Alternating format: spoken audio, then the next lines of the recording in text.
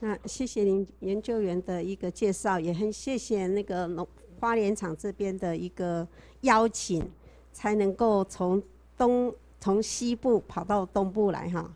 那呃，我只能说我第一次来已经很久很久很久以前，结婚前，哦，来来到那个什么，到你们有一个花莲有一个兵营，对不对？来看看当初的男朋友，现在的老公哈。然后第二次就是一月份东华大学邀请的，然后我那时候住的是丽池，好像这次地震已经摇摇欲坠了，对不对？哈，拆了哦。那昨天住的比上次好很多，很谢谢花莲厂哈，我喜欢亮，很光线很亮的哈，然后我可以在里面做一些事情。哈，那今天那个呃。建议我我讲的是跟小型害虫有关哈，那重点不是在小型害虫而已，而是在于整合性管理。那我是要用我今天上的课程，大概都是用一些概略性的一个，我喜欢讲观念，跟想，比如说那一些资材的一些作用机制。那昨天一真也讲了一些了，那今天。我会也会带了一点，因为跟整合管理应用面有关。那资材的那个部分，免登资材那部分，我会分享一下我自己实验室的一个结果，或者是它的作用机制在哪里，让大家在应用面的时候会比较清楚一点哈。好，那很多人都说，哎，你对整合管理的，哎，我我先讲一下，很抱歉啊，我昨天晚上再重新看的时候才发现到说，哎。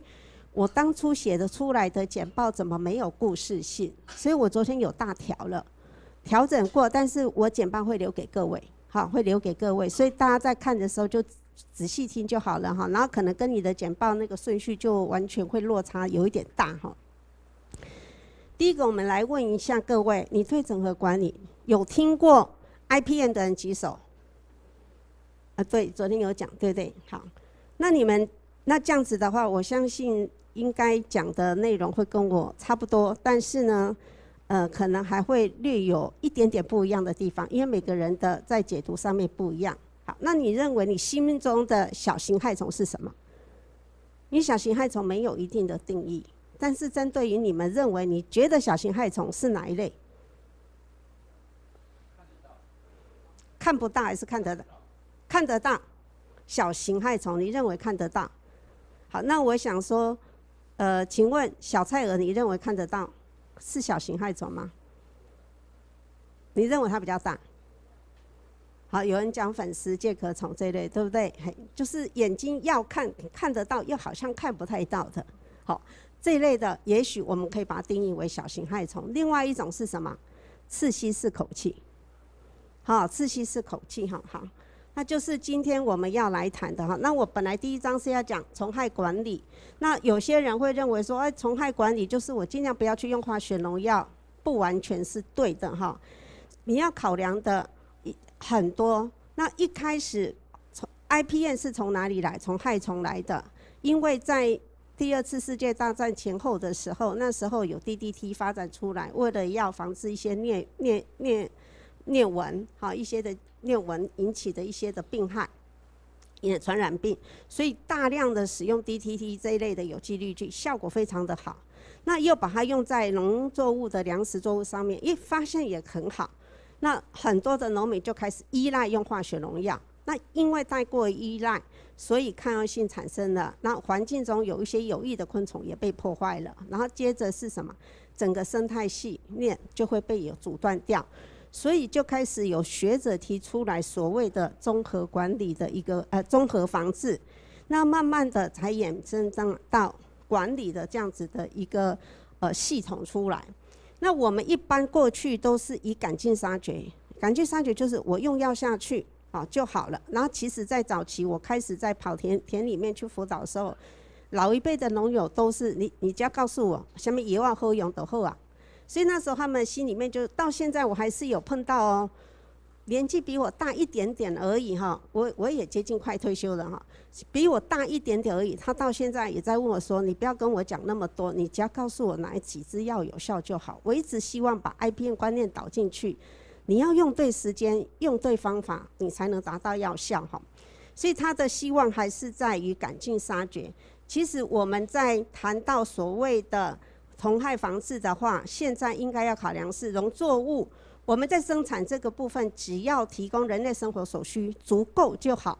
所以你在足够的一个定义下面的话，我们所采用的这一些的措施，希望让这些的病虫害危害我们的农作物到我可以忍受的一个比例范围内就好了。所以你所采取的防治，当然就是要跟生态有一些的结合。农民也是一个职业，你慢慢要赚钱。你既然种了，你要卖到市面上，一定是想赚钱，否则你就是在家里的一个庭院里面或后花呃后花园里面、后菜园里面去种一种就好了。所以，经济利益是 IPN 里面最重要的第一环，手段才是考虑生态。好，所以经济利益今天价格好，你忍受度会比较低一点；今天价格不好，你忍受度呢？就会很高，所以你的房子的基准那个观念是跟经济利益有关，跟当下的市场价格也有关联性哈。所以所谓的 IPM 的话，大概就是 I 是指的是整合各式各样的防治方法来防治各式各样的害虫。比如说有一种化学农药可以同时应付两三种害虫也好，或者是病害，那你。你们会不会刻意去找出那个那一支药出来？我只要用这一支药就好，好，我一打多或一打二就好，而不要说我为了要防治三种虫，我就用了三种药。那这样子的话，你要用越多，其实未来不不要说考虑到环境的影响，抗药性的影响就很大了哈。那所谓的害物，一开始 IPM 是从昆虫角度来提出来的。慢慢的把这个观念扩散出去以后，开始接下来的做病害的人开始提出所谓的病害整合管理，就是 IDM，D 就是那个病害的意思。接下来杂草也提升上来了，叫做 IWD 哈，呃 IWM 哈。所以这两个整合在一起，我们叫做综合防治。但是呢，我们谈到管理，管理这样当然就有策略啊。一个公司在管理一些的员工，他要不要有一些守则、规则？那有些守则、规则，你要让你的员工去执行，呃，去去去遵守嘛。所以你要有一些的策略去管理你的这样子的一个员工，还有你的如何去，你的包括你的业绩啊，包括你的行销啊，这要不要有一些策略？要。那你策略如何去拟定？哈？在 IPN 里面，第一个要考量的是经济的一个利益。接着呢，你所采取的防治措施要以生态的角度优先考量。最后面的话，我们从从从从事 IPN 的话，对社会的影响观感也会比较好。为什么？用药少，我们有在保护我们的生态环境嘛。所以 IPN 里面整个整个的架构的话，是架在综合防治之上。那管理的部分的话，再再跟各位复习一下，就是我们要以经济利益为目标。当然，这一些的防治的一个措施，我希望建议是以生态学的基础为呃以理原理为基础，所采取的这些防治措施是调节或者是抑制这些害虫到某一个经济容许的限界。一听哈，这个大家可能都偶尔有听过哈。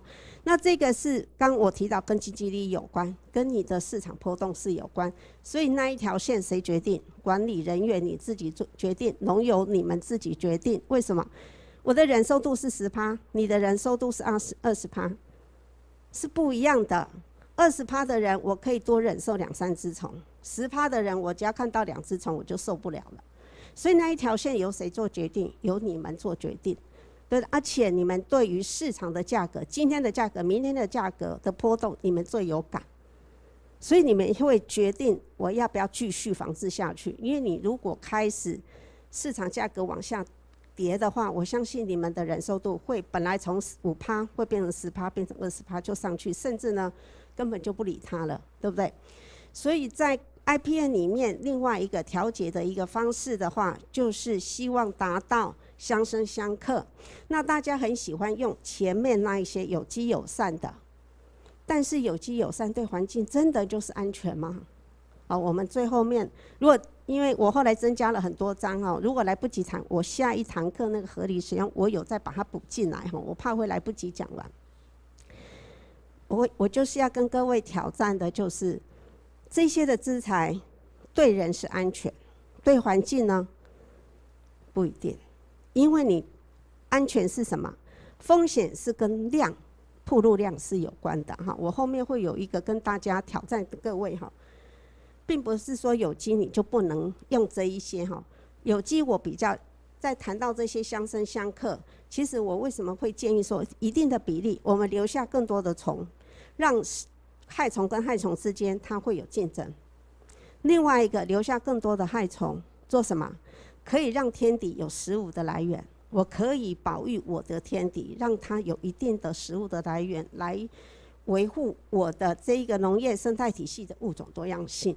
所以与在使用 IPN 里面要有一些的层次的观念。那我比较会建议啊，我前两天还在有机协会那边讲课，我也跟他说，有机的切入点跟一般惯性农法有一点点不一样，但是架构想法是一样的。那我针对于有机友善的部分，我更推荐的是什么？我们希望达到一个物种的多样性。你用资材之后，我也建议能够多释放一些的天敌，来维持这个稳定的一个生态体系的一个物种多样性。好，那我用这一张图来跟各位提到说，大家都有在做 IPM，只是你不知道你自己已经有在做 IPM 了哈。好，大家可以看得到这个苹果被咬了一个洞。好，被咬，呃，被被钻了一个洞，或者是被咬了一口，那接下来你会想什么？谁吃了我的苹果？那接下来你会在观察什么？我的这一个园区里面，或是这一棵苹果树，我接下来我的苹果树有没有陆陆续续被吃了？还是刚好不小心这一棵被咬了一口？好，那从这里大家是不是就可以看得到说，哎？开始在怀疑谁是凶手了。可是你第一个时间点，你会做什么？你把它摘掉。摘掉之后，你一定会去想谁，然后你就开始去寻源。寻源的时候，你会看到就开始，哎，有看到就摘摘摘摘到后来，哎，我不能忍受这样子的受害率了，你才会采取什么行动。所以这过程里面，你有没有在做诊断？有，因为你在找嫌疑犯。接下来，你有没有在做监测？有，因为你在园区里面巡田，你已经在注意到我的苹果被吃了多少量了，所以你要在评估我要不要继续不用药，还是我有我有什么行动应该采取了？所以各位有没有做这些动作？有，因为你们都有在做，但是你们缺了一个什么记录？我觉得大家都有在做 IPM。最缺乏就是没有把它留下记录哈。那所谓的预防，就是如果一经过你过去的一个经验，知道说一个田区里面可能有哪一些的病虫害会发生，那我可不可以做有一些的预防的措施？好，那假假设说有一些土传性的一个病害，那我在种植的初期，我可不可以用一些微生物的制剂产品哈来？建构更多的土壤里面的有益微生物，跟这个些的后来带进来的这一些的病害，能够有一些的互相的一个制衡，好，这个就是我刚提到相生相克哈，这也是一种预防哈。那假设说，哎，你知道，你这园区也经常会有一些的呃天牛跑过来，那我可不可以去做一些的呃预防的一个措施哈？所以 IPN 里面最重要的架构就是这三个观念。我这个预防胜于治疗，所以一开始我能够用预防，我就可以降低这一些的病虫害的一个发生。那我看到有虫子或进来的时候，我就可以开始做监测，监测我该不该采取防治措施。那你做完防治措施，你要不要去评估它的有效？当然要。所以我框起来这中间这几个的话，是你在本田里面经常会去做的一件事情。可是，请问各位，你会把这些留下一个简单的一个纸本的记录吗？不会，几乎很少，因为我在推就快推不动了哈。为什么会建议大家做一个简单的记录？就是你今天如果我你你会用用完防治措施以后，你会觉得啊，这这个药啊不好啦。可是真的没效吗？是你用的时间点不对。好，可能可能这支药的效果没很好，那你在很严重的时候你去用它，当然压不下来呀。好，后面我有一个那个公式哈，简单的公式的的的一个说明，可以给给大家参考。为什么记录非常重要？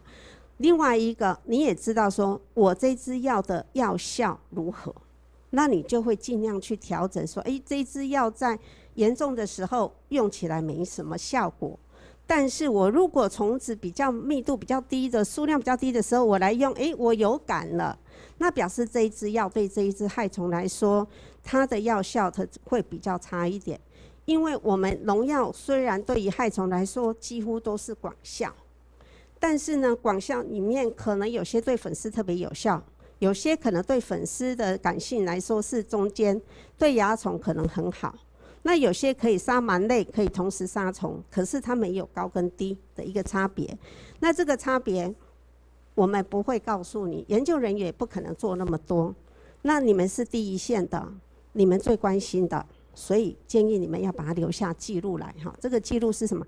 大约有多少虫，或者是你觉得园区里的危害程度是多少？然后我用了哪一些的资材，或用了哪些化学农药？然后目前的一个状况，你的感觉是什么？哈。那 IPN 另外一个就是呃预防，就是疫检疫的部分哈。那另外一个最重要的就是一个教育训练哈。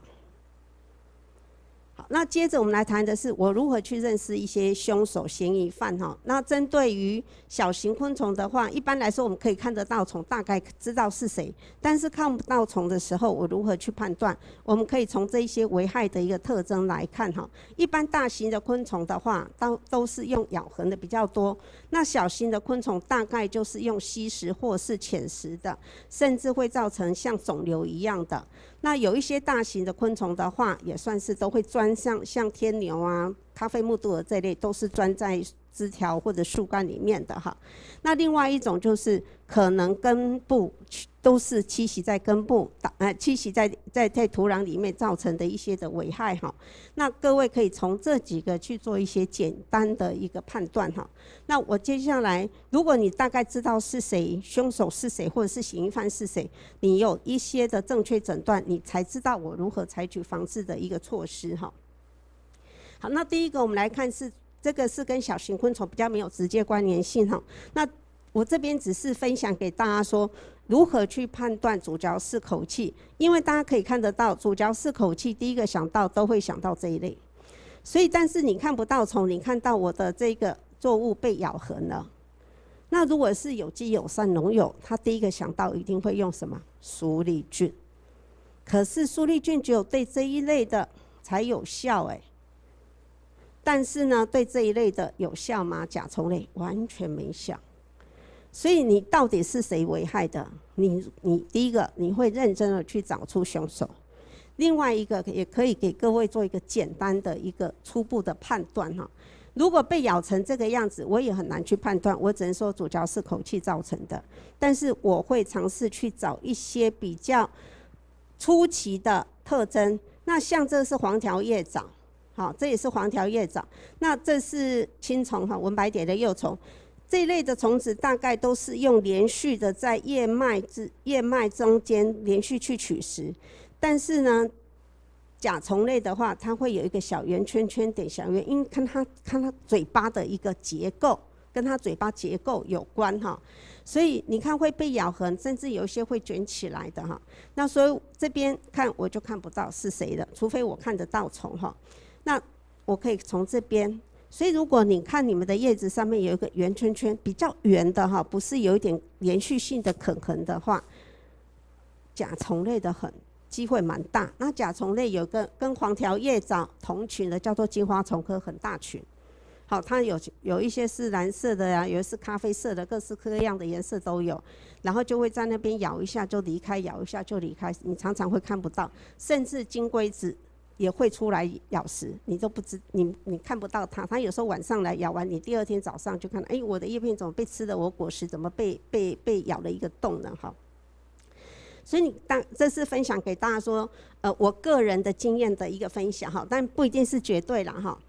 好了，就是像这一类的，好，那次序式口气的话，就是比较困难一点点哈，但是我把它分类成三大类，一个是这一大类的。昆虫所取食的一个方式，另外一个是蓟马，第三个是螨类哈。那蚜虫的部分的话，它蚜虫它是用这个细细的针哦。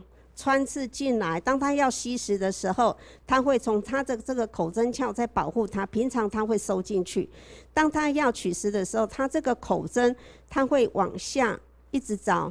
那这一类的昆虫，它们取食植物的部位不都是在维管束？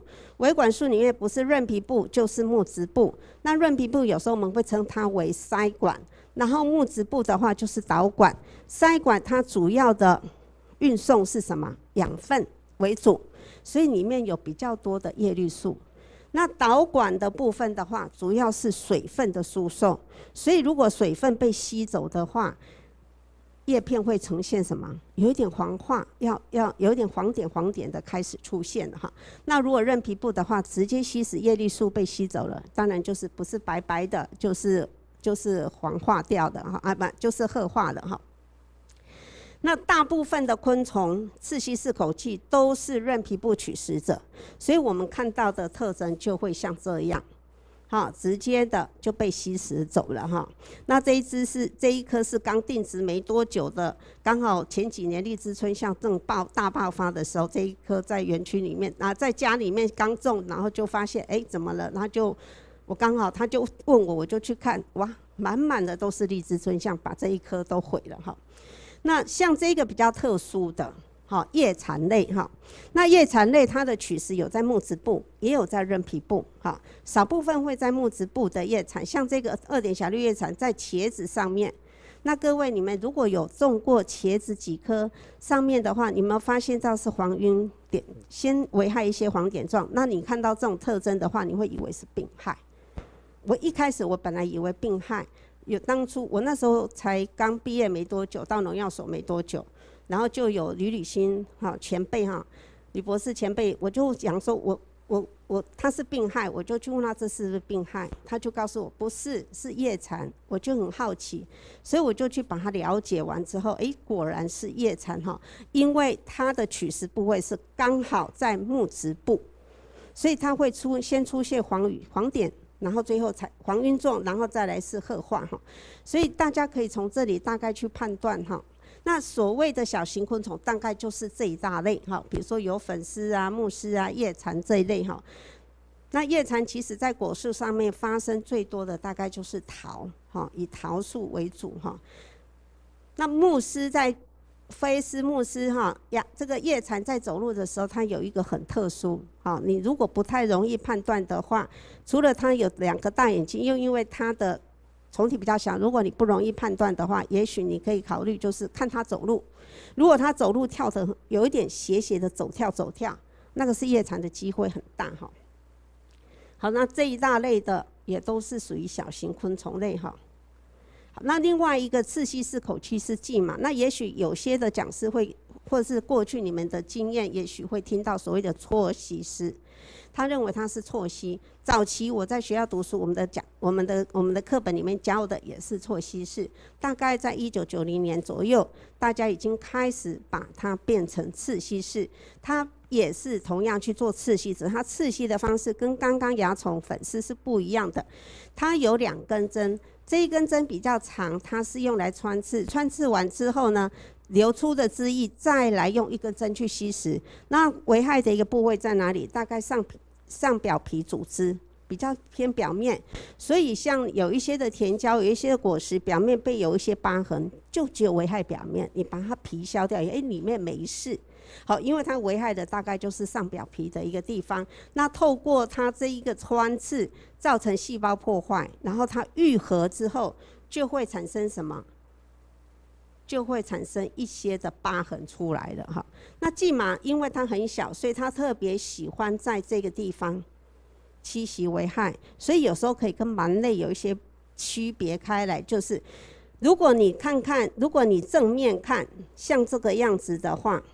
大概是八九不离十是蓟马类造成的哈，但是如果你是这边是一片一片的黄晕状的话，但但因为这个比较特殊，这个是蓟马，然后它危害造成慢慢的黄化的一个情形哈，这是蛮特殊的。这个是西瓜哈，网式西瓜哈，那你会看到它这些的特征哈。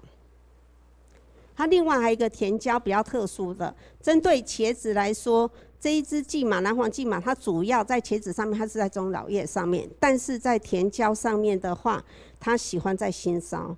那在这个新梢危害过后的话，它就会跑到这个，如果刚好结小果。哦，刚好果实非常小的时候，它会躲在这个果萼里面。那当这个果实慢慢长大出来时候，你就会发现，哎，边缘地带怎么在果萼下面有一些疤痕呢？其实它就是在这个时候。所以各位要防治的点要放在这里。但是如果比较中老叶的时候，它比较不爱哈。芒果也一样哈。再来看，然后另外的话，茶树也是哈，这些都是蓟麻。那茶树，我再来讲一下这个蓟麻好了。就我个人经验分享给大家，就是呃，如果是在蔬果类上面的蓟麻的话，在果实在叶片上面比较偏向在南黄蓟麻，好，南黄蓟麻大概就是叶片跟果实为主。那花上面呢，主要是台湾花蓟麻哈。就果树来说的话，花蓟麻主要是在花期。然后小黄蓟嘛，它会在两个时期也一样哈，是在新梢的时间点跟开始结小果的时候，它会进来哈。那针对于茶的话哈，你要防治的一个时间点，大概就是呃茶开始有抽抽新芽的这个时间点。那我的调查观察的一个的的经验就是。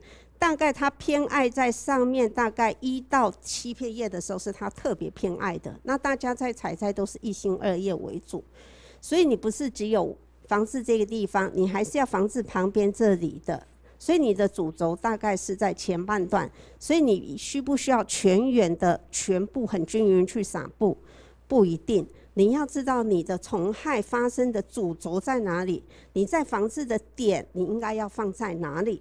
那其他的部分你大概是简单扫过去，让它有接触到，除非你密度很高，要不然它比较不会到这个地方来了。好，大部分都会在这个地方哈。好，那这个部分的话，另外甜椒又我去去年哎前年。我又发现，因为早期我在做甜椒调查的时候，我发现台湾花蓟马不是重点，因为它是吃花粉的。对于这一类的危害，主要都是南黄蓟马为主。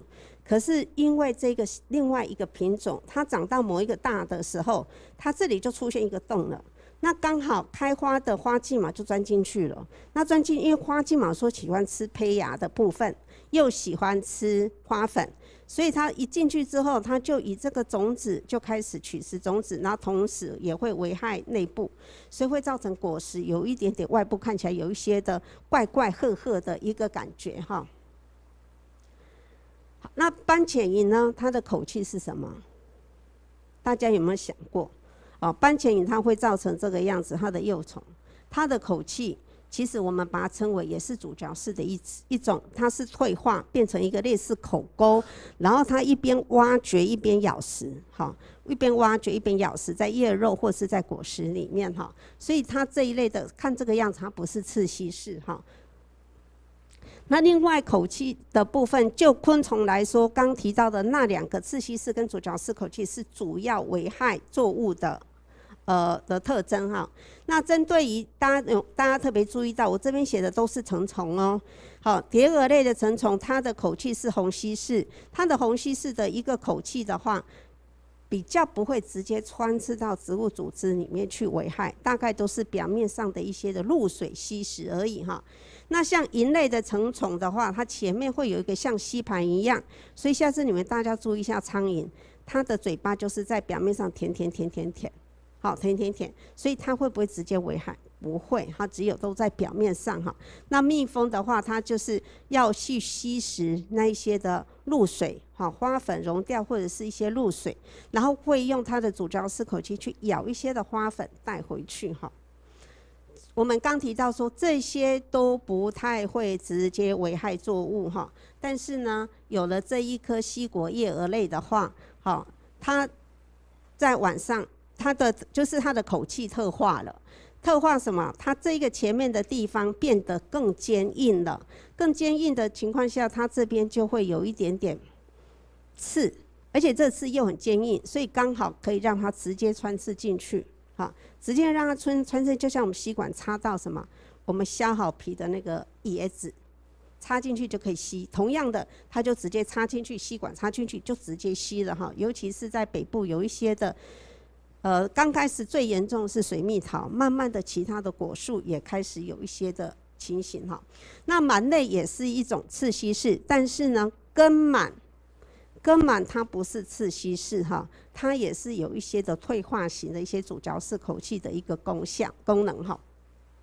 那螨类它是一根针哈，一根针穿刺到植物组织，直接去吸食，它也是一边一边刺一边吸哈，但是它只有一根针，它也是在上表皮组织而已哈。所以从这边大家可以看得到，说，咦，它只有一点一点，因为我刚刚说它跟蓟马有点不一样的地方，就是蓟马是先穿刺，先穿后吸，它是直接刺吸，所以你会看得到有一些点点点点的一个白点状可以出现哈，那。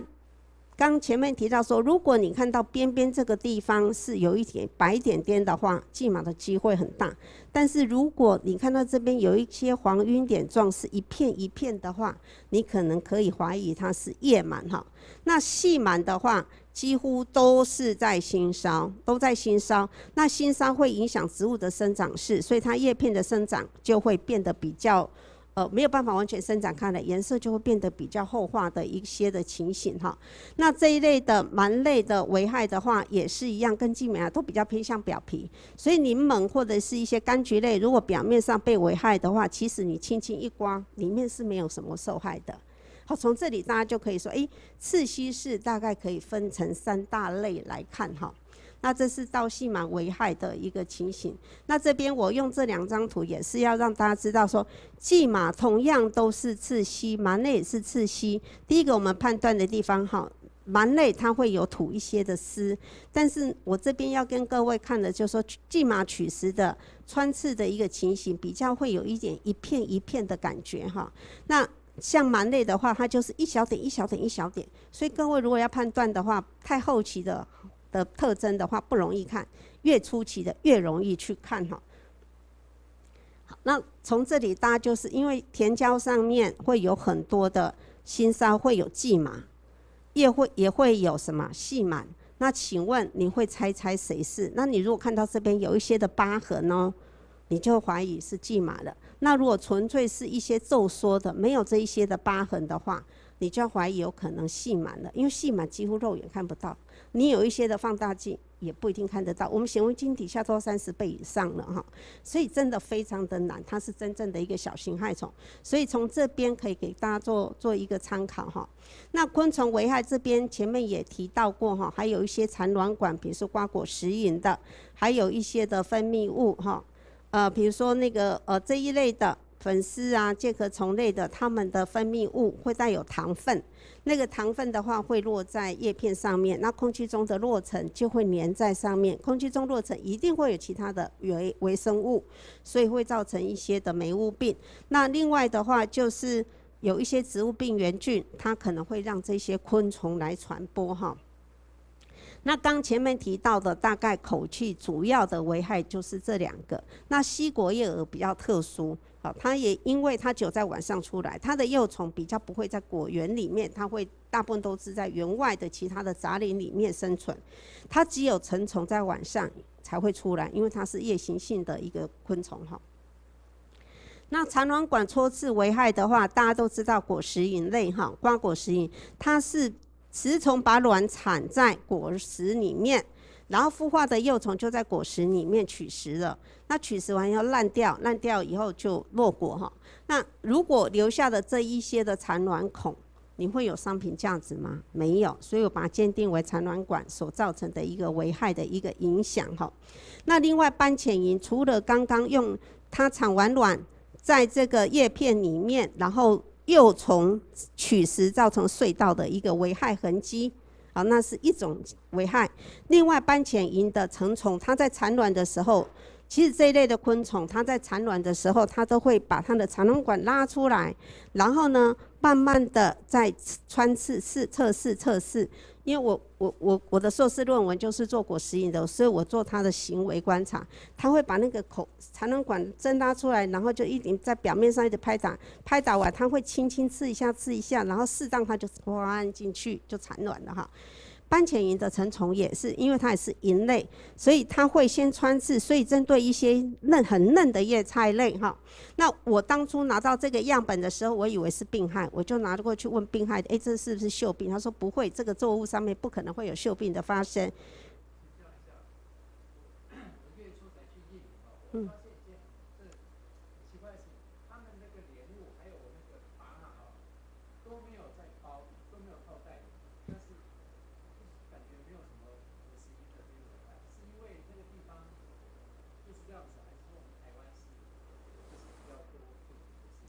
你要看你的，你去的那个位置，它你的位置的环境，还有他们当地的果实蝇。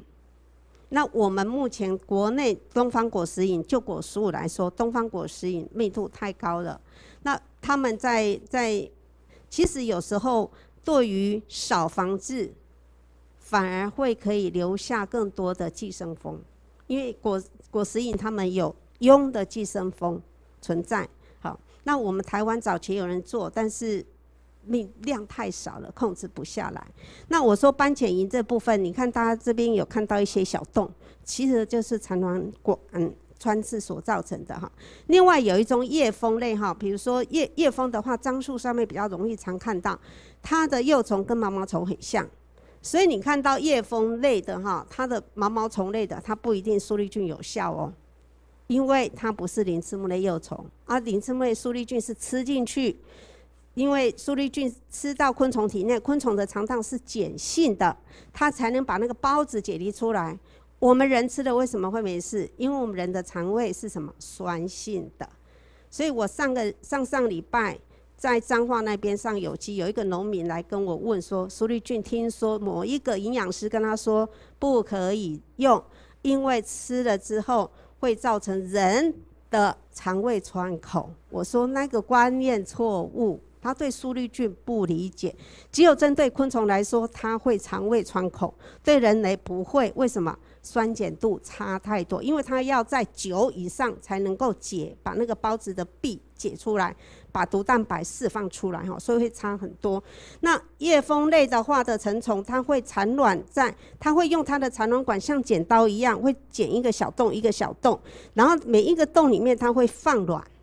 那这样子的这个地方是植物的一个最重要的一个气孔进出的一个哈气孔气交交换的一个呼吸交换的一个最重要的一个位置。这个地方如果被破坏呢？所以我认为它也是因为产卵管。导致的一些的造成植物的一些的危害的一个情形哈。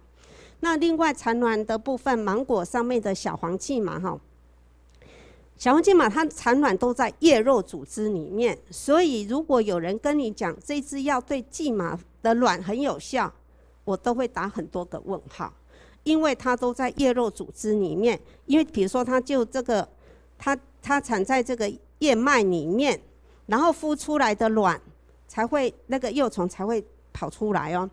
那因为这个中中脉的地方，它主要的一个是我们运输很多运输的一个主要的一个运输的一个管道，所以这一个地方如果被破坏之后，它叶片的生长度就会不好，生长势会越来越不好，最后会影响它后面的抽抽抽梢跟抽穗哈。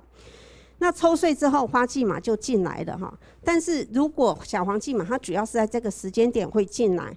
但是如果开始抽花穗以后，这一些的叶片会变得比较老一点点的话，你会发现到哇，旁边有很多的危害痕，这个很明显的是蓟马危害。可是如果在这个时间点很难找到蓟马，蓟马就一两只而已，密度很少啊。但是开始开花、开始结小果的时候，它又进来了，小黄蓟马又进来，进来哪里？躲在这个地方，好，那些有一些的花不是很多的花瓣啊，睡在那里，它就躲在那里面。当你没有去注意到果实长到某一个位置的时候，你准备要去套袋，你会发现，哎，我的果实表面怎么开始有一些疤痕了？它是就就是，所以很多人会以为花季嘛是造成这边的一个危害，其实不完全。好，我有做过大概一年多的一个调查，这是我的个人的结论哈。好，另外一个四季豆哈，那四季豆我刚说它卵都是产在组织里面，那这个是羽化出来的。那我们市面上看到的这个，其实你怎么去剥都剥不到虫了。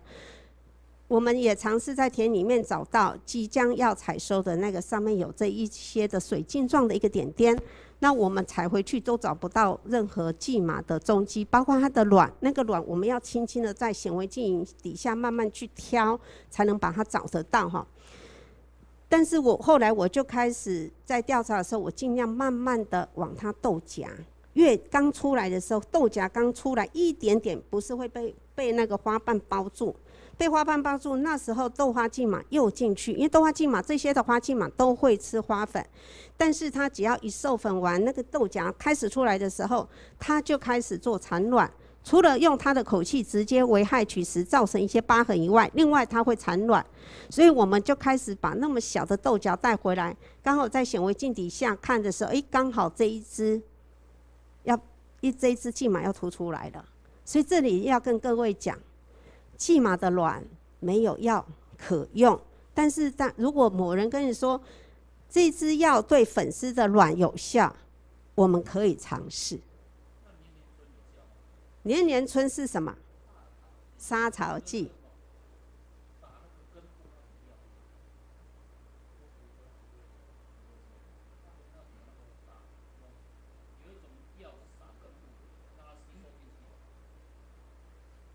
我不知道你说的是哪一支药，很旧的药吗？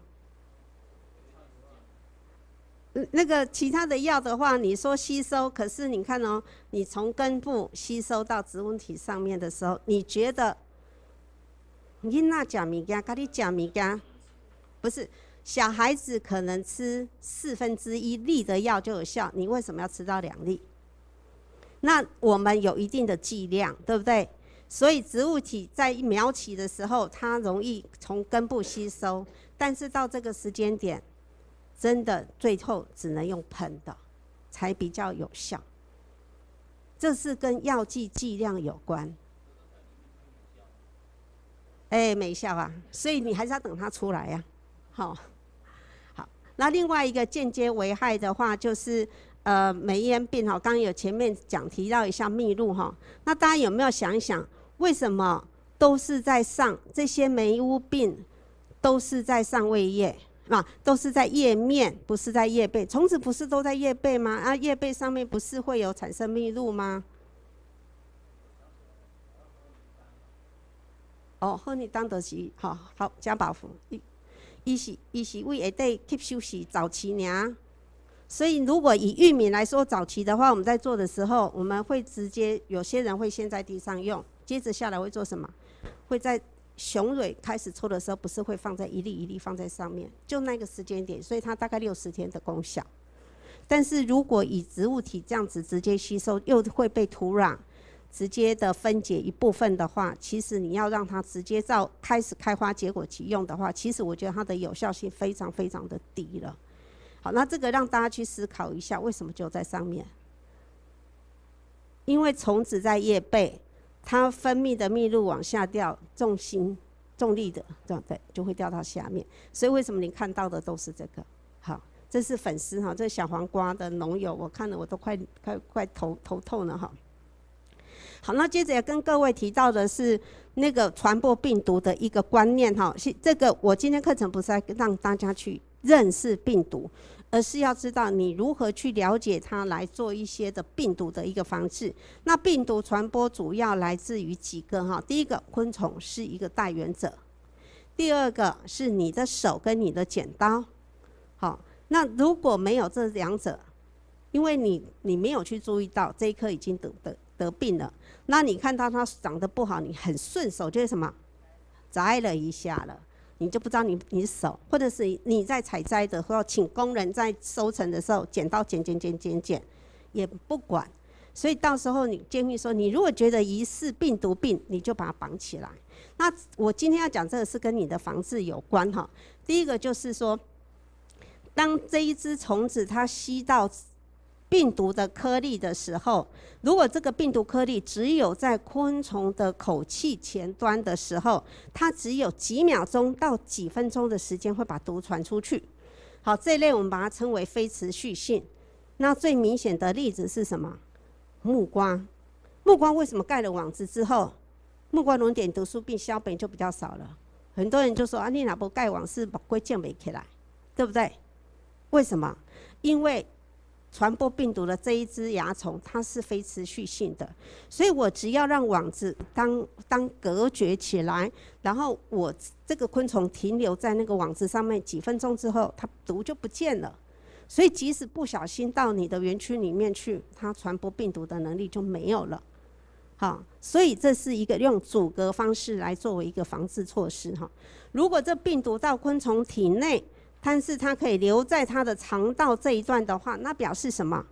它能够传播的时间会比较久，所以它可能几个小时到几天。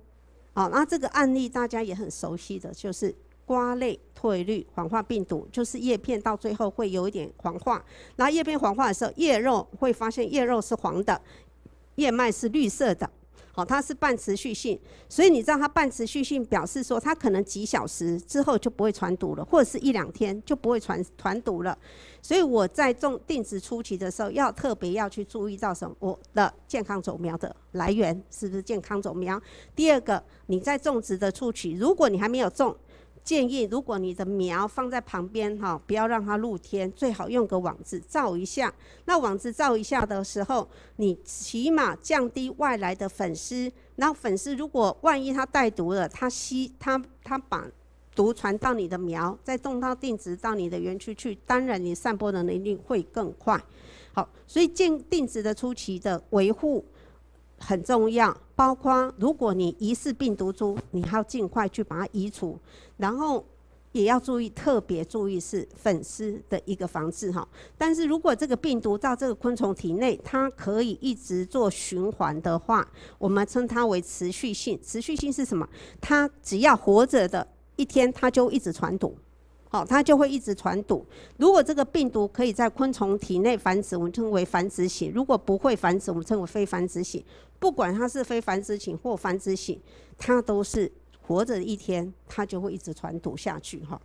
所以这类的病毒的话，跟各给各位看一下哈，比如说蚜虫所传播的这一些的一个病毒哈。那如果蚜虫传播有些是持续性，有些非持续性，也是半持续性，不一定哈。那目前的话，粉丝哈在传播的有卷叶病毒哈，还有番茄推力。其实这个大家都没有去注注意到。我们在田间调查的时候，我们在检测，其实它占比有一点点快要比它强多了。那我们现在也发现到，这一个病毒开始在田胶上面散布了。我最我最近在做田胶的时候，在新港地区发现。验到病毒株的越来越多，哈，是番茄黄化卷叶病毒，是泰国病毒株。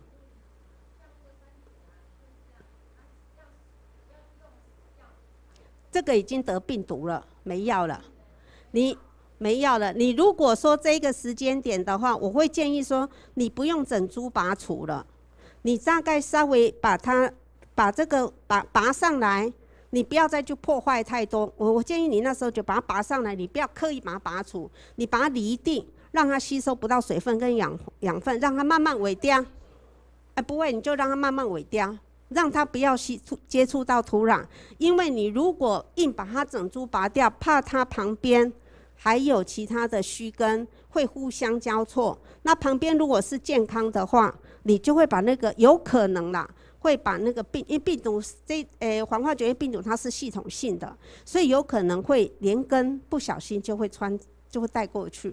所以如果已经到开始采收的时候，我建议通常都是不要拔除了，你可以稍微把它离地，让它吸收不到，让它慢慢的萎萎萎凋哈。啊，这个大这个大家都很熟悉的一个。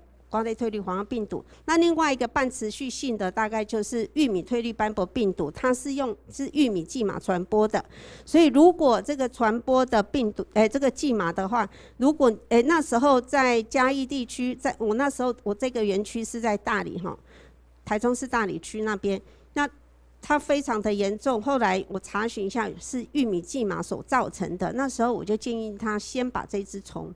压下来。那果然后续的话，整个嘉义地区的话，也是防治了骏马之后，这个病毒的发生比率就降下来了哈。所以各位要做防治，你要为什么我讲的？我不是在跟各位讲病毒介绍病毒，而是在知道说病毒跟昆虫的关联性，你如何采取防治措施哈。那另外一个细菌性的是柑橘木丝所传播的黄龙病。那黄龙病因为它是木本植物，所以它不是像草本很快的就很呈现出病症出来，所以它会从一侧慢慢的黄化，然后所导致慢慢的让影响你的生长势哈。好，那那我我们再接着来讲哈。那接着这个部分，我也是要跟大家介绍的，就是呃，针对一这些的小型昆虫，它们的生活史。你要知道它的生活史的重点是在哪一个位置上面，你要防治，你才知道那个方向在哪里哈。第一个，我们来谈蓟马哈，蓟马就是它成虫产卵在叶肉组织里面。好啊，主要是叶肉组织，有些会在花瓣里面，甚至是花的那个像脂肪一样的哈，脂肪的表面里面哈，孵出来的幼虫的话，它才会在叶片上面，然后它会脱掉一个皮，然后再长出好新的皮之后，就会变成一零二零哈。但是呢，大部分大概有七十 percent 左右的蓟麻，它们在准备从二零要到三零四零的时候，这个时间点它会到土壤里面去栖息，然后这个时间点它们就不太吃了，它们就不太吃了。然后要羽化的时候，它们会在土从土壤里面慢慢的再移回到植物体上面。所以大家要看到这一个环境环节底下，各位要防治的对象要放在哪里？这这个时机点的话，它可能对药剂感受性会比较高；这个时间点感受性会比较低。那这个时间点呢，即使它是在叶片上面，它也不太吃。所以，如果你用化学农药要让它吃得到。好，除非你是接触到，否则的话药效是不太好的。那这个是在，所以各让各位看的是这个循环的一个生活环的里面的主要的几个点，那让大家知道说你防治要放在哪里哈。那蚜虫的部分的话，蚜虫在国内几乎都是走这边的所谓的胎生哈。就是蚜虫长出啊，蚜虫的妈妈长出蚜虫的小孩子出来。那它有分无刺跟有刺型，有刺型主要是针对于当栖息环境非常拥挤的时候，它会下一代的蚜虫有一部分下一代蚜虫会长出翅膀，可以作为迁移到一个另外一个新的地域里面，哎，那个领域里面去哈。所以大部分走的都是这一代。但是少部分会有有性生殖哈，这一段是属于无性生殖。有性生殖就是会有经过卵，所以会有雄虫跟雌虫。那这个部分的话，大概就是目前在台湾只有在梨树上面的梨瘤芽。好，梨瘤芽它是走的是这一块，它是用卵在育越冬的哈。那粉丝的部分的话，粉丝的卵它是上升或者是稍微好一粒一粒的，它会生在那个叶片的表面上面。那孵出来的幼虫的话，它有六只脚会走路，好，它会六会去走路。那像比如说一些盾介壳虫类的，或者是一些硬介壳虫类的，也一样。当它的卵孵出来之后，异鳞虫是有脚可以走路的。当它找到适宜的环境之后，它会脱掉它的皮，长到新的皮出来之后，它的脚全部就不见了。好，它不见之后呢，它就会开始一慢慢的增厚，就是说它会脱掉旧的皮，长出新的皮，然后越长越大哈。但是呢，它就是一直固定在这个地方，然后羽化出来的会变成一个粉丝的成虫。那如所以会传播病毒的是谁？这一段，这一段，那我再跟各位分分享一下，就是蓟马传播病毒很特殊，就是西瓜银斑病毒或者是瓜类退嗯甜瓜黄斑病毒，它比较特殊是，它是在这个时间点获毒，这个时间点获毒不几乎不会传毒，也几乎不会获毒，那这个时候更不用说。所以它这个时间点获完毒之后，到这一个时间点它才会传毒，所以为什么在国内的传播病毒没有这么严，没有像国外那么严重哈？我我也不知道为什么哈。台湾的这个也许是我们病毒的那个特性比较不一样。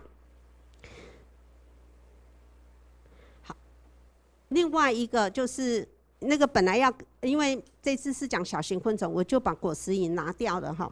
那螨类的一个生活史的话，第一个就是这是成螨哈。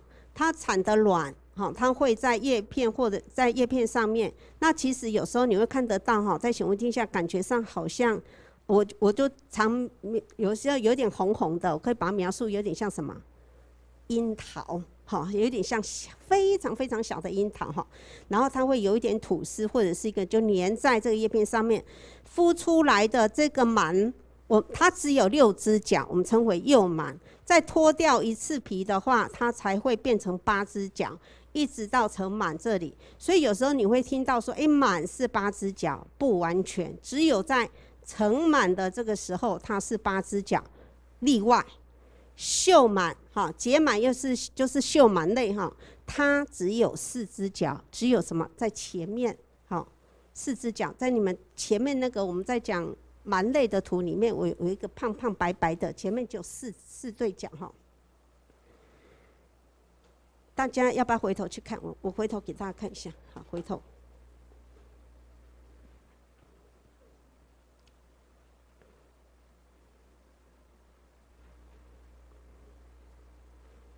秀满，哦，他平常看是这样，然后显微镜放大以后就就一二三四。然后它的长相是长这个样子，所以秀满的脚只有四只脚哈，不是八只脚，所以八只脚也不完全定义，但是你只能说，满类的成满大部分都是八只脚哈，但是它的幼满都是六只脚哈。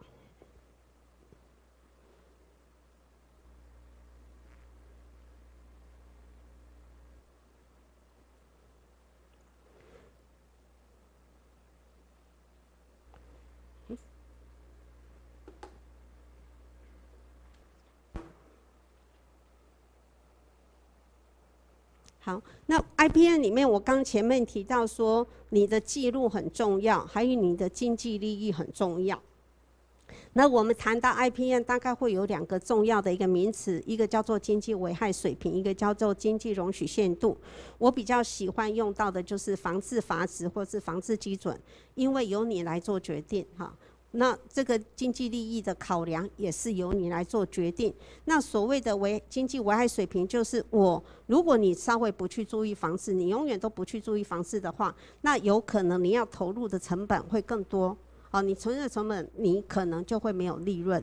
所以我在还没有会失去利润的这个情况下，我要让它在还没达到一个我还可以忍受的范围之内，我开始采取这个的防治的一个启动点哈。所以监测跟评估在 IP 里面是非常非常重要的。过去大家不是 IPN 只有用这些的资材去做防治而已，那只是一个综合防治。决策来自于你要有监测，你才能去做评估。好，那其实我一开始很早很早以前，我们那时候其实我的老师是把 IPN 带进来的一个陈秋南老师哈。他那时候就很重视监测调查，所以他也写了很多取样调查的一个方法的书哈，一些的文章。我那时候在开始教 IPM 的时候，我就是要让大家知道监测的重要性哈。还好，刚在二零一五年的时候，在纽约的这边的他们州也有一个 IPM 的一个呃推广的一个系统，他特别写到这一句话：如果没有做监测，你没有在执行 IPM。还有另外一篇文章，监测是所有 IPM 的一个骨干，那代表什么？你没有监测啊，你如何去做评估？你如何启动你的防治基准？你的经济利益的定义是从哪里来？你就没有办法达成的哈。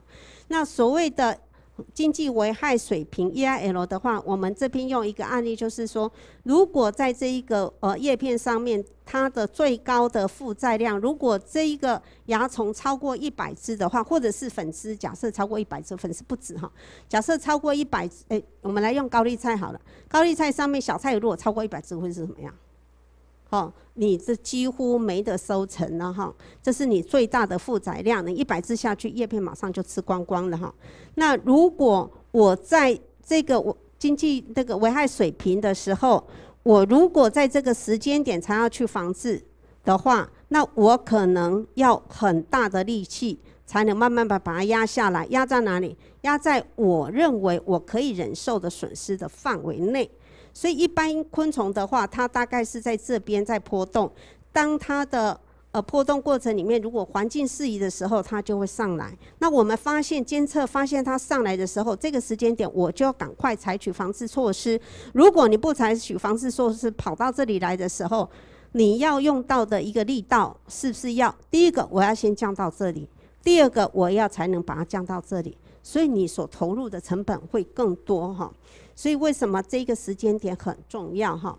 监测很重要，但是呢，现在有很多的资材，或者是透过各位的记录，知道有哪一些的化学农药的有效性高中低，你能不能自己去做上一个记录哈？那我就提出所谓的两阶段的一个 IPM 的一个观念哈。那我们用这个简单的数学来看的话，假设脂肪酸盐对蚜虫的防治率是百分之四十哈。如果一片叶子上面有一百只蚜虫的时候，我来用它，我可以死掉百分之四十，会留下六十只。但是如果我在三十只时候来用它的话，我留下的蚜虫只剩十八只。那蚜虫会不会长大？会。然后我们透过这个简单的个族群族群增长的一个公式带进来之后。假设我现在喷完之后，七天后，它的蚜虫叶片上面会增长到两百多只，十八只的大概不几十只而已。所以你可能几十只，你可能感觉诶好像没有什么特别增加。可是呢，原来一百只突然间增加更多的时候，你会有什么感觉？因为一个叶片上面稀疏的跟满满的，你的感觉是不一样的。满满的你会觉得啊没有效果。这个就是为什么让大家去做记录。那所以我要在这个时间点来采取防治措施。那这个防治措施是用的是什么？过去我们在谈到 IPN 里面都是这个点，在化学农药的这一个点。但是哪一个时间点适合来释放天敌？哪一个时间点可以适合使用这些友善资材？友善制卡大家都知道它的防治率非常的比较低，偏低，所以你要在比较不严重的时候来用。那你如果要释放天敌，一样在这个地方释放天敌，不要期待它是拿来做防治用。我们希望透过这一些的资材，先把这个害虫的密度压到一个我可以忍受的量之后，我来释放天敌。好，释放天敌的目的是调节控制。这个族群的目害虫的一个族群的一个数量的波动而已哈，所以不要太期待要去做释放天敌。如果你要做释放天敌作为防治，你的成本非常非常非常的高哈，可能你看到一只害虫，你可能要释放到一千只、两千只以上哈。所以监测的 IPM 监测的一个目的是，你可以做决策的一个拟定。那还可以透过你的这一些的记录，你知道过去的发生，你可以自己做一些的预测预警。那接下来你有哪些的防治措施可以采用？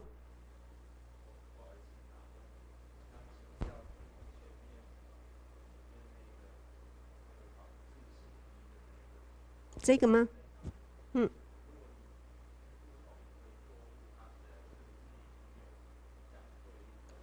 没有。这是一个示意图，啊，这是一个示意图。那只是要跟各位说，你如果在事实的这种情况下的话，你再来防治，可能你会血本无归，好，你的利没有利润了。所以我们要在这个时间点用。对，对，对，所以记录很重要。没有，因为你你你有两块田，你的 A 田跟 B 田是不一样的。状况会完全不一样的，所以你没有办法去一体适用。没有，我现在正在做番茄上面的粉丝，期待明年。哎，我我今年有用模拟做出一点东西来了，哈。没关系，有空的话，花莲厂很多人可以问。好那另外监测的一个就是你可以提供你过去的记录，给自己做一些预测跟预警哈。那所谓的预警的部分，就是我们在长 IPN 里面，应该就是以这个金字塔来看，我们希望是先用一些天然的方式来控制这些族群的密度。当你不行的时候，我再来采取这个防治措施。真的最后手段采用到化学农药，所以会有所谓的两阶段的一个防治基准线哈。那但各位要记记得，就是你采取防治措施最重要的，大概就是我要降低受害的比例而已。控制损失在我可忍受的范围。第二个，你在什么时间点来采取防治措施，尤其是天敌或者是这一些友善之材的一个应用。如果你用到化学农药的时候，你也要知道这些化学农药对。某一类的你在乎的那一些害虫的一个药剂的感受性的一个情形，那最重要当然是要有一些抗药性的一个管理哈。那这只是要跟各位做一个简单的一个监测哈。那主要是说，哎，你要去算一只虫吗？不需要做 IPM，不需要非常的精准哈。做研究的人才需要很精准哈。你只要告诉我说，哎，你这一片叶片上面呢，蚜虫密密麻麻占的比例是多少？那你可以给他。不需要很多的一个等级，好，那你如果太多也没有意义，对不对？所以在你自己范围内，你自己心里面的那一把尺，你自己把它定义出来。啊，这个一把尺就是慢慢一次、两次、三次，慢慢你自己就会做出自己的一个监测的一个记录的一个方式哈。那这个也是我们尝试做成这样，这个表单给农友去做，失败。我做了好多个表格都失败，所以我推了三年的监测，我自己有一点灰心了哈。都只有研究人员自己在做，农友都做不到哈。啊，我我其实我最想推在哪里？有机农友，你才会抓到适当的时间点，直接去做防治，对不对？惯性农法他们第一个想到我为什么要我直接打下去就好。但是有机的话，后面我有一有一张一两表，有两张表。两张图就是要跟各位提到有机，因为花莲地区有机友善占的比例非常的高哈。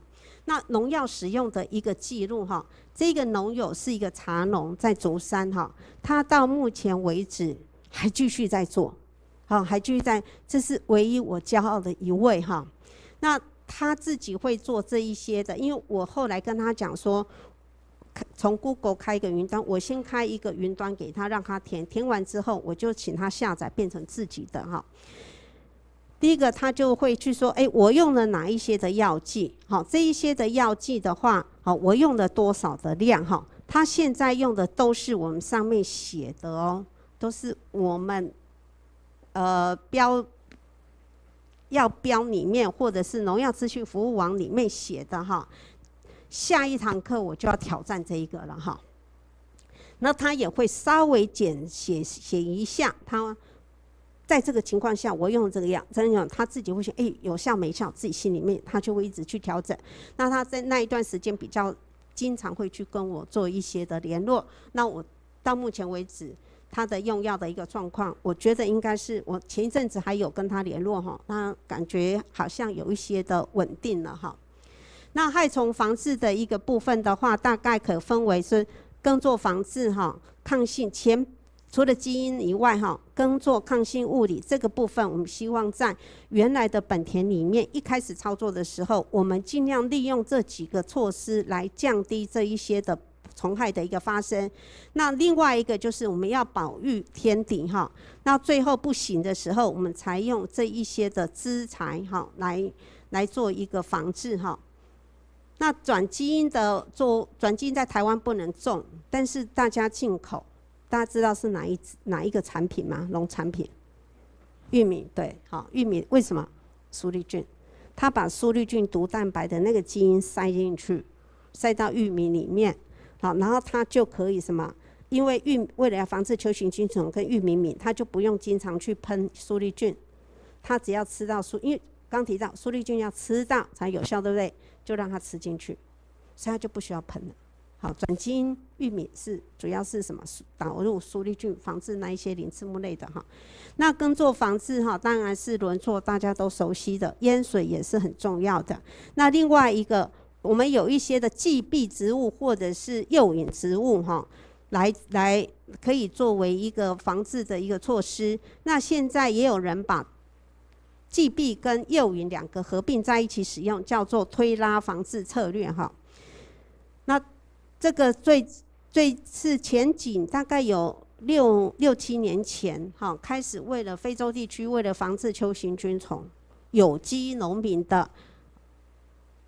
秋形菌虫的一个玉米上面秋形菌虫的防治发展出来的一个推拉防治策略，就是把寄壁跟诱引两个同时来使用哈。那最近我也碰巧看到一篇文章，但是我还没有细读哈。哎，还是不要讲，明天复想来讲。我不，他应该不一定会讲到，避免你们问，我不讲好了，因为那个有点敏感，对，有点敏感，所以先不讲好了。还有针对于小型昆虫很重要的就是修枝是修叶，跟氮肥不要太多，因为氮肥多大家知道叶片会比较松、比较软，好，然后刺吸式口气更容易刺吸，所以它们偏爱哈。那刺吸越多，比例越高，传播病毒就会越快，好。那另外一个，这些小型昆虫都有聚集，所以你如果不给它通风性很高的话，它就聚集在那边，特别喜欢。然后密度越开始越来越高，它就会慢慢的移移，就是分散出去哈。所以修枝修叶很重要哈。另外还有就是氮肥不要使用太多。最重要是什么？其实所有的工作来自于最基本功，就是田间卫生跟清源。但是这个是大部分农民都跟我说，这是他们的痛啊。几乎都很难达成，但是如果你有达成的园区的话，其实病虫害发生真的会改善很多哈。所以推拉防治策略的话，针对于秋行菌虫的话，它这是玉米，然后这个是银叶藤三，就是西班牙三叶草，它针对于秋行菌虫来说是疾病，但是狼尾草对于秋行菌虫来说是偏爱的一个寄主植物。所以这边就是在告诉秋行菌虫说：“哎，这里你不要来哦，哈，就是它跟玉米种在一起，然后跟哎这里有你不喜欢的，但是我告诉他们，哎，这里有你喜欢的，你要不要过来我这里？所以让这一些秋行菌种尽量维持在狼尾草这个地方，那就要防治也顶多在这个地方先优先去做防治。另外一个是什么？这边也可以采下来去做什么饲料。”对不对？可以喂喂喂一些的动物，对不对？它是算是一个是呃，应该是牧草啦。那早期这个营业藤在清境那边曾经推过哈，但是我那时候本来有尝试要做，后来我没有去问到，所以我没有买到它。据说有人有拿到了哈，这个只能有机，没有，没有。然后营业藤它。银叶藤的话，它是豆科植物，它是豆科植物，所以你再翻理下去，是不是又可以固碳？好，所以是一举多两得哈。所以这个也可以，但是这个因为它是有机农田做，面积不能大，推拉防治策略不能在大面积做，会看不出效果的哈。那物理防治的话，大概就是有手补啊、网补啊、灯光诱集跟颜色的哈。那颜色诱集的部分的话，这边先跟各位提到说，大部分大家都会说，哎，蓝色是针对蓟马哈。其实有一个比较小黄是黄色，效果特别好。所以各位，如果你种植的是一些果树的话，果树上面主要是什么？小黄蓟马，所以我建议你用黄色就好。那蓝色的话，对于大部分的蓟马偏偏爱，呃偏偏爱蓝色是对的哈。但是南黄蓟马又特别的偏爱，所以如果你的西瓜园呐，或其他的，如果主要的是南黄蓟麻，我就会建议你们要蓝色要挂。好，然后如果是果树，其实小黄蓟麻就够了哈。那另外过去我们都用灯光诱集，这两年开始有做一些光照的一个驱避哈，利用那个呃昆虫的一个特性、行为特性。那往事这些套袋都是一些阻隔的一个保护哈，这个都是属于物理防治的一个情形哈。那另外物理防治的话，还有就是粘纸这个部分，这是西瓜。我们为了防治粉丝，还会画的呃粉丝跟蚜虫，我们用黄色的，然后为了防治蓝黄进马，所以我们会兼兼兼种的那啊，兼设置的那个蓝色的帘子哈。那这两个是灯光的诱极哈。那灯光的诱极，如果以这个哈，如果你园区里面没有没有没有那个什么，没有光源，没有电源的话，大家可以使用那个 LED 小型的那个手电筒，好，你可以挂在这个地方。那下面的话加一些水，水里面要滴两三滴的清洁剂，因为清洁剂里面就是界面活性剂。昆虫的体表表面上面它有脂类的一个物质，这些脂类的物质，我们知道洗碗。碗很油的时候，是洗碗巾洗一洗，是不是就容易清干净了？是因为它这些界面活性剂可以把油跟水做分离。那昆虫的体表表面上会有一些脂类物质，所以我透过界面活性剂把它的脂类物质稍微把它溶出来，它就会沉下去了，它就不会再往上爬起来了哈。那这两个是根据昆虫的一个特性做出来的一个光照的一个区病哈。这是针对荔枝细蛾，荔枝细蛾白天它很小只，它白天是躲在荔枝跟龙眼的一个树冠层里面的一个小枝条的一个位置上面，或者是叶背，所以你看不到它，而且它也不太会移动，它只有在太阳下山的时候、昏暗的时候，它才会开始飞起来交尾产卵。所以透过这样一定的光照强度，让它觉得说，我现在还在白天，还没到晚上。所以它就不会飞出来做活动，或者是飞行的能力比较不会那么强，因为是在弱光的一个情况下，利用这样子的一个方式来达到控制荔枝细蛾的一个密度哈，危危害那个那个荔枝果实哈。那这个旋转式的闭蛾灯就是刚前面提到的那个西果叶蛾，好，它也是晚上才会出来，所以同样的也是制造一定的一个光照强度。来让这个呃西果叶蛾能够觉得，哎，现在还是白天呢，我我我就不要出来活动哈。然后另外生物防治的部分哈，大概可以分为捕食性跟寄生性哈。那寄生性天敌大概比较熟悉，大概刺眼卵寄生蜂，还有平腹小蜂。平腹小蜂跟刺眼卵寄生蜂这两个都是针对卵寄生的部分哈。那这个寄生蜂是把卵哈，这个寄生蜂成虫把卵产在昆虫的体内，在昆虫体内之后，它这个幼虫蜂的幼虫会以这一只害虫的里面的体液当做营养，直接慢慢吸食哈。那或者是它产在这个卵里面，也是以卵里面的养液为主要的营养来源。但是有两种方式哈，有一些就会直接在里面吸干了，它就在里面化蛹。然后羽化出来的就是变成一只寄生蜂，有一些的话，像这个纹白点，它的表面就在外面哈，也许你们有时候会看得到，哎，外面有好多白白的像茧一样，其实这一个就是寄生蜂的蛹，好，所以大家看到它的话，这一只虫已经死掉了，它已经被这一些寄生蜂寄生了出来的哈。那另外的话，捕食性天敌这边要跟各位分享的就是草蛉。草蛉它把幼虫把那些的它的天它的害虫吃完之后，害虫它的表面上会有一些的，它头壳跟它的外骨骼会比较坚硬，比较坚硬的情况下它吞不下去，所以它会把它背在它的身上。所以你如果发现到很脏很脏一坨在动，它草蛉的话，表示它吃的很多，好，它吃越多它背的越多哈。另外这一只很像蜜蜂的。大家如何去看它是蜜蜂还是食牙蚁？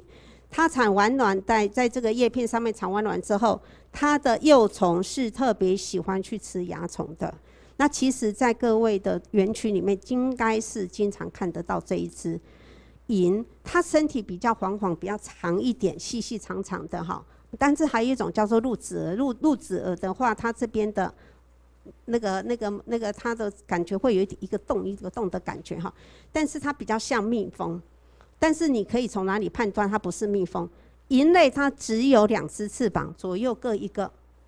如果是蜜蜂的话，它就会有四只翅膀，左右各两个。你从这里直接去判断谁是食牙蚁了哈。那食牙蚁在的话，你就要很高兴，为什么？它有可能会在你的园区里面制造更多的一个天敌哈。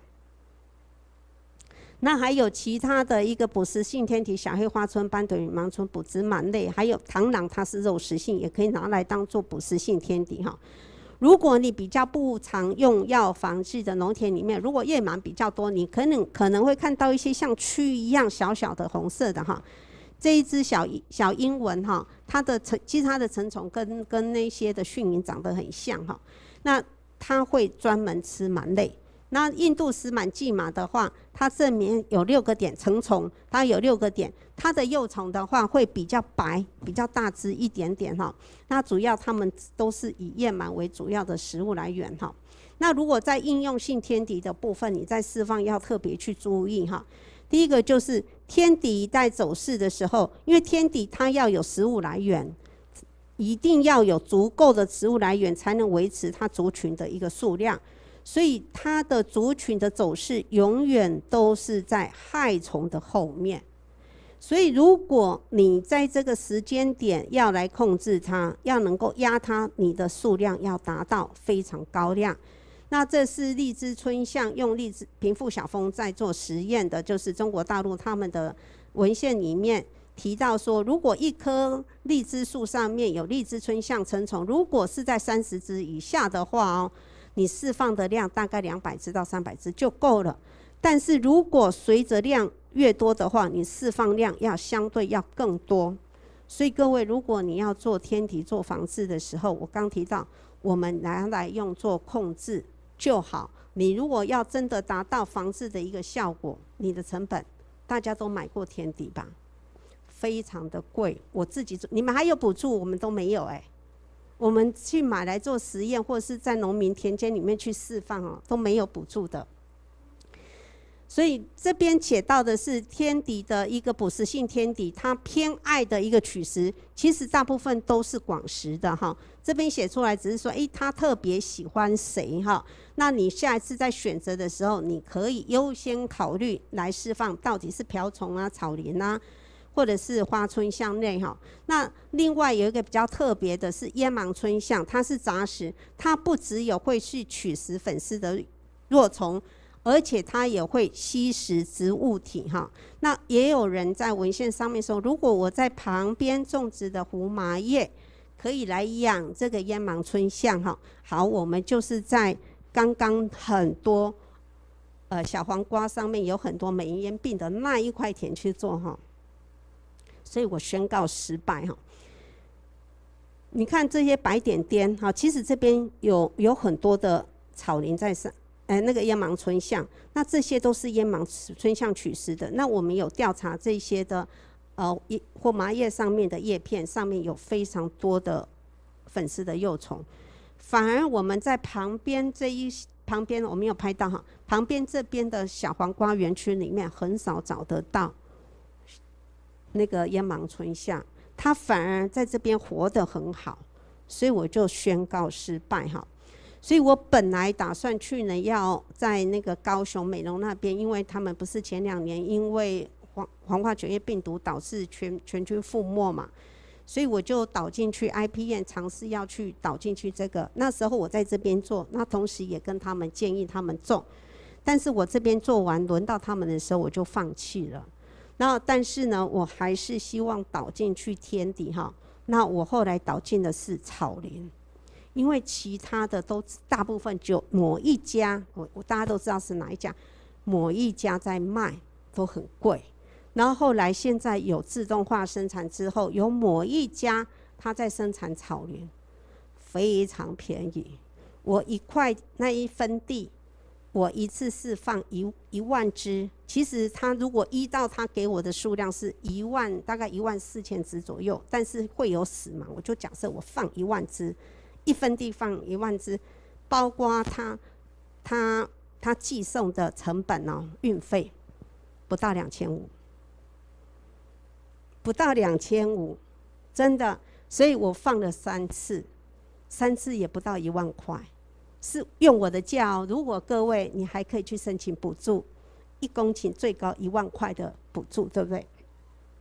所以我目前的话，我尝试要来用草林，因为它便宜了，我可以找得到便宜的，所以我要来尝试看看有一些的的那个，我我现在是着重在粉丝哈。好，那微生物农药的话，目前大概有细菌、真菌跟病毒哈。那真菌用最，呃，细菌用最多的大概是库氏苏利菌跟捻子苏利菌。那这两大类主要是针对蝶蛾类的幼虫才有效哈。然后病毒跟苏利菌一样哈，都要吃到才会有效哦。如果没有吃到是没效的哈。那目前有登记的大概是甜菜叶和多角体病毒哈。那甜菜叶和多角体病毒。目前登记的这一支的话，大概不容易买得到哈。我们也期待明年我们农药所开发出来的甜菜叶蛾和多胶体病毒可以上市哈。那我们现在做出来是跟苏力菌一样，都是粉末状的水分散粒剂。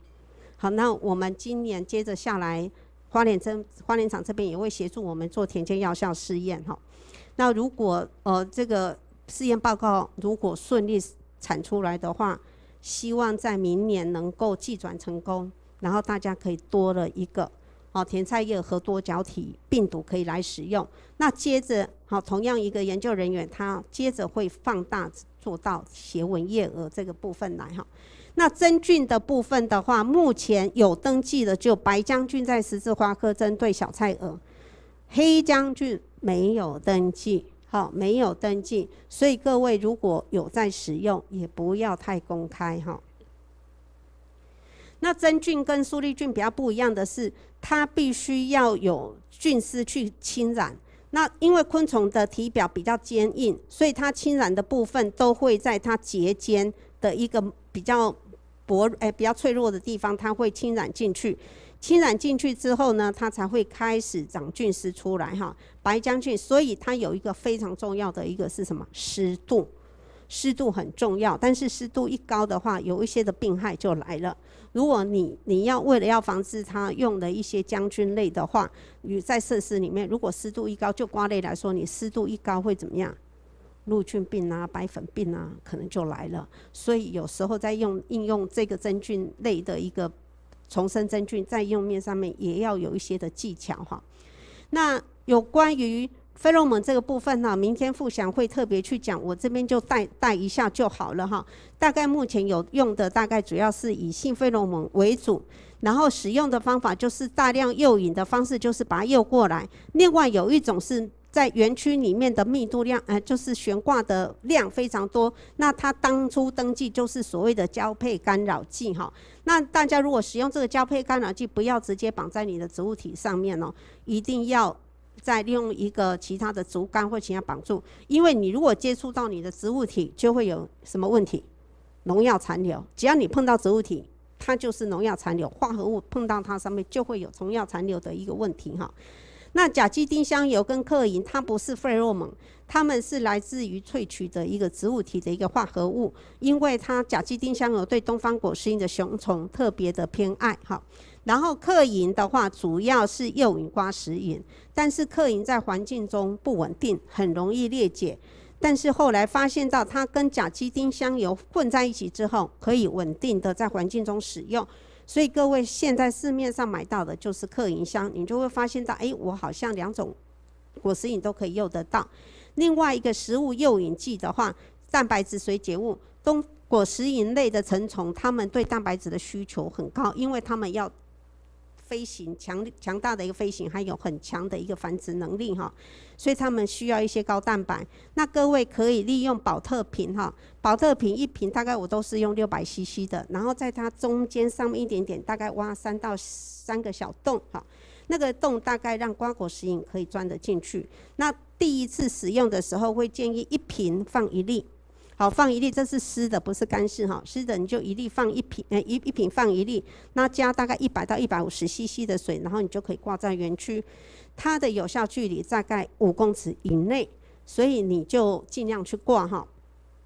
但是因为它是属于食物诱引，所以可能会杂七杂八的虫子都会过来。那杂七杂八虫子过来的时候，你如果太满的话，你你就用一个过滤网把它过滤完之后呢，把那个虫体丢掉，那个液体记得要留下来，因为昆虫也是蛋白质，经过酵母的发酵之后，它会产生不更更一个味道出来，更会诱引其他的瓜食蝇来。那你第二次要添加的时候，你可以直接加水去稀释，哎，直接加水。但是你如果不放心它的浓度，我接下来你就不用每一每每一瓶放一粒，你大概是一粒也是用用一百到一百五十 CC 的水去稀释。好，那你看看你园区种了几瓶，那你要添加多少 CC？假设你你你假设你只要配五百 CC 就好，那你就要放五粒进去，稀释完之后你再去分装进去就好。我估过。大概不到两三百块一公顷地在使用的价格，因为一粒我我那时候估是八块钱买的时候啦，但是现在可能十块或十二块，那个成本可能稍微高一点点，也没有高很多了哈。好，那目前国内有登记的微生物农药跟费洛蒙，大概是有这几种。那请各位哈注意一下，库斯斯路径，你们的讲义是是六个哈，后来我发现有一支登记证已经也撤掉了哈，所以剩五支。然后 EG 七八四一的这一个的话，如果你是有机农友，我是建议你先不要用。因为它有一点是转基因的苏利菌饲养，哎，那个发酵出来的，不是用原来的包那个细菌去发发发酵的哈。那目前有登记在果树，哎，所有的苏利菌只能在蔬果菜上面使用，果树还没有登记，好，还没有登记上市哈。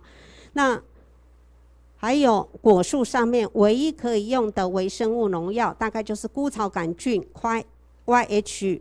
，K K H Y 在前面有有一包哈，还有贝莱斯芽孢杆菌 B F 这个菌系，只有这两个有在果树上面有登记哈，可以使用哈。好，那免登植物保护资材的部分的话，我大约先提一下哈，因为昨昨天你们应该也上过，只是再跟各位提一下。其实甲壳素的话，它主要是基丁酯，基丁酯它经过一些酸的萃取之后。变成菊壳糖，叫做甲壳素。那这个甲壳素这个部分，主要是让植物体增加抗病能力。那这个基丁质，它跟细藻土一样，会有结晶型，它会划破昆虫的体表，让它失水而死哈。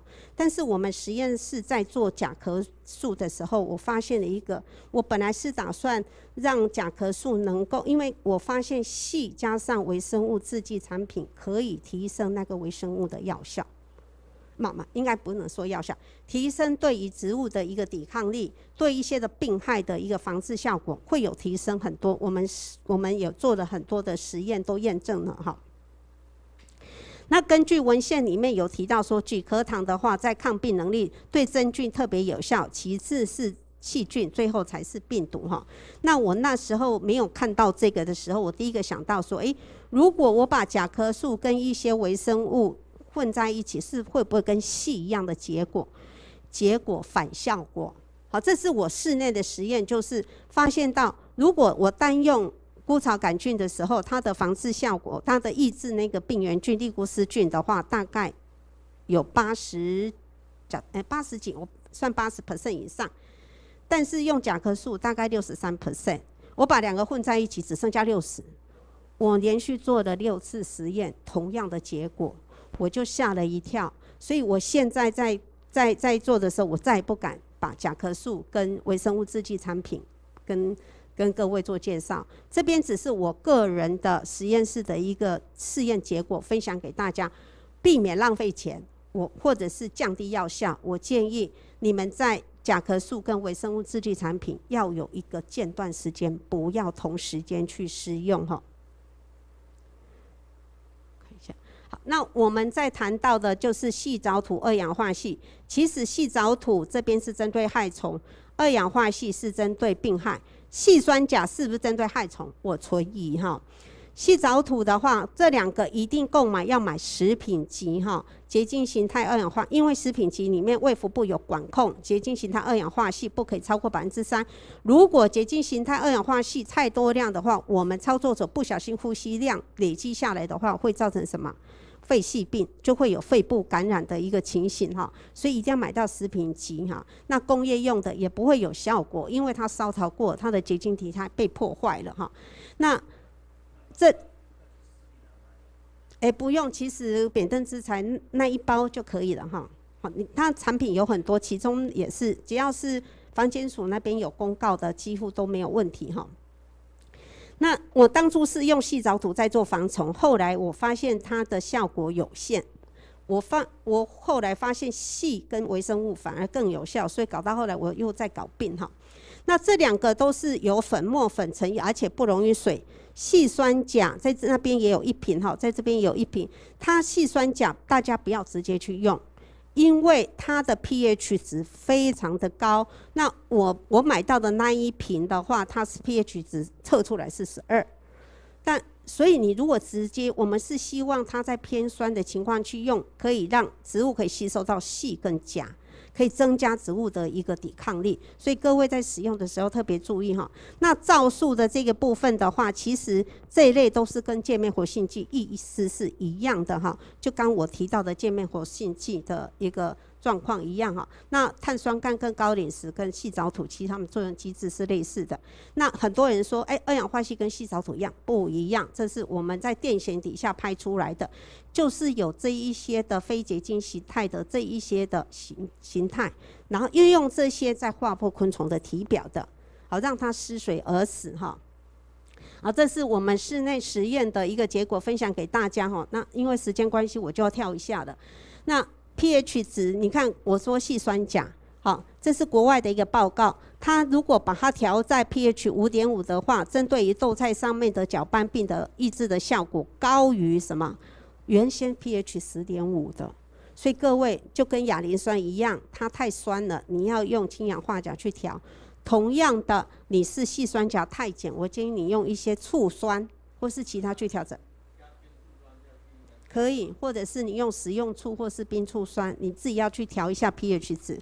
那我建议 pH 值最好是可以调在五点五到六点五这中间哈。那因为在比较偏微酸的情况下，对于植物吸收这些营养元素是特别有利的，所以会建议调在比较偏微酸的情况下来使用哈。好，那免灯之材里面再跟各位提一下哈，这个。柑橘精油，柑橘精油除了油的关系可以包覆昆虫体表，另外它的柠檬烯的话，它具有寄避的作用，对一些昆虫具有一些寄避的作用哈，忌避取食的一个作用哈。那这这几类的酸都是因为它 pH 值很酸，来造成一些昆虫体或者是植物体崩解。的一个情形哈，另外硫酸铁这边前面也有新农的那一个，这是唯一针对软体动物哈。今天有有有有学员问到的哈，你如果刮牛哈，类似这些软体动物，你可以买硫酸铁。硫酸铁它早期在欧盟它是食品级，但是后来发现到它对一些的宠物啊，还是吃到一定的量还是会有影响哈。所以你用硫酸铁，它是一个耳剂。它可以放在瓜牛也是，嘿，然后就在旁边放一放，让它去吃，哈，它是有机可用的磷酸铁，哈，然后这是新新新登记的，去年年底才新登记的这两个，哈，那目前就我所知，主要的是来自于肉桂醛。它可以让植物吸收，增加植物的抵抗力哈。那针对于这精油的部分哈，其实跟茶树精油跟皂素都有关系。至于肉桂的这个部分，我还要再研究一下哈。好，那针对于在做农药，如果你是一个惯性农法，要选择农药的时候，当然第一个你要正确使用，然后施药的次数也要特别注意哦，不是一直用。后来有些会有一些超量的一个影响。那轮替用药的时候，如何去轮替哈？第一个，如果你可以，这个我是跟帮各位在害虫这边把它把它整理出来，就是呃利用它，如果你可以轮替药剂的话，针对于你这个作物上面登记的药剂种类的话，防治的一个对象，你可以建议是这样子的轮替优先，真的不行的时候，你才做这样子的一个轮替哈。一 A 跟 B 一 B，其实它们的作用机制，它们都是类似一样的。只有在结构上面不一样，所以你碰到二十二 A、二十二 B 或一 A 一 B 的话，好，四 A 四 C 也一样哈，未来会有四 D 也会快出来的哈。那这这些的话，你就在使用上面的话，可能你尽量这两个不要去轮替，因为怕有交叉抗药性的一个发生哈。那这七 C 十五、十六、十七、十八的。的话，主要是在于昆虫在生长过程当中，前面我一直有提到说，哎，昆虫表面上面会有基丁质啊，因为它太硬了，要长大它会脱掉旧的皮，长出新的皮出来哈。所以它要长出新的皮的时候，我们可以不可以去做这样子的一个组？诶。哦，这个的话就是这一类的话，第一个我让它脱。不了皮，这两个是让它脱不了皮，然后呢，这两个是让它合成不了皮，新的皮，哈，这是在昆虫里面的一个特性，哈。但是三面镜主要的对防治对象是在脱掉双翅目，就是银类这一类的，哈。那你春青春激素的话，就百利补分，它不是只有，它不是影响它们，而是利用荷尔蒙来调控，让它没有办法。变态，好，没有办法脱皮或者是长出新皮的这样子的一个控制哈。那但是这边我写十 A、十 B 跟二十三，虽然它归类在生长发育里面，但是它跟这列是没有关系的。这三大类的话，主要是在它们生长过程里面，可能要跟脂肪酸合成有关，跟脂肪合成有关，它是抑制那个脂肪的一个合成的一个过程哈。好，这是 IPM 刚提过的，OK。好，有机农铁的 IPM 的话，最重要的大概就是这一个部分。如果就有机农民，应该着重在这一个地方来做。好，所以你如果去保护天敌，如果真的不行的时候，我第一个优先的情形，可不可以先慢慢去释放这些天敌，来调控我族群的一个状况？真的再不行，我再来用这一些的资材来使用。所以，针对于有机友善的话，你们除了以这一个点为基准以外，下面应该还要有一条线。这一条线是针对化学农药，不是给有机友善农民用的。有机友善农民这一个点是你用资材，甚至你要释放天敌，搞不好都还要在下面一点点哈。这是我很多年以前去美国看的这一个有机农田，它有认证的，它几乎园区里面很少用一些的，除了苏力菌以外，它几乎都是在放瓢虫，好，几乎都用瓢虫。另外一个，它才有黄色莲子，还有它在间种之间，它会间种花，因为它们主要是台湾花季啊，那个西方花季嘛，所以它会间种一些的菊花。好，在这边会种一些菊花来诱引这一些的蓟马过来哈，所以他们是用这样子的一个物种多样性的一个概念在维护一个是一个一个一个系统哈。那时间也差不多了，等一下我我我会针对于这个部分要跟各位做一些的观念的一个改变。那另外 IPN 这个部分再给我一分钟哈，刚刚有学文。提到哈，我们的网址改了哈，我们因为人力的关系哈，我的助理全部原来跟我一起弄这个东西的助理哈，全部跑光光了，现在只剩下我一个而已，还有勉强明天要来的富祥哈，所以有没有更新？没有了，没人力哈。我们有针对，因为那时候如果有去我们那边早期的，去我们那边上课的，我是好几个助理，好几个助教在帮我们，我们每一个人。助教都有一个笔电，然后你们告诉我，我们我们那时候花了很多时间做的签，然后签抽完你用了什么农药，好或者用了什么资材之后，我们后台里面会帮你算，我们会有不同的防治率，好对药剂的药药剂的感受的情形，你用越多药，我会把你打折更多，那你用不对药也是会打折，到最后第一次开班的时候有一组。他们的气源，他们的蓟马一直都压不下来气源。好，那表示就是要让你们，然后我也跟他说，你们用完玩完之后，你们有没有感受到哪一支药是有效？我们是有实验根据的，哈，那几个药我们是有实验根据的，哈，所以各位可以上这个网站去玩一下，哈，这里面还有包括成本、的考量哈。那讲义里面有稍微跟各位介绍一下这些的游戏，那你一定要跑完最后终结的时候，然后你这边后来你这些的 ET 你可以自己去做调整，你可以去做调整。这里面还会牵涉到万一下雨的时候，你有一些病害可能会起来，虫害可能没有，你的选择药剂的方式就要改变哈。所以整个 IPM 的一个管理的的的操作的方式哈，就会有改变哈。那我们在六月五号的农民学院的课程有大概有六七个钟头，我会上两个小时，大概一到一个多小时，然后剩下来让大家去玩这个哈。大概已经结束报名了了哈。那最后我们会给你说，你练习出来，你总共花了多少钱啊？你大概获利多少？啊这个都是模拟的。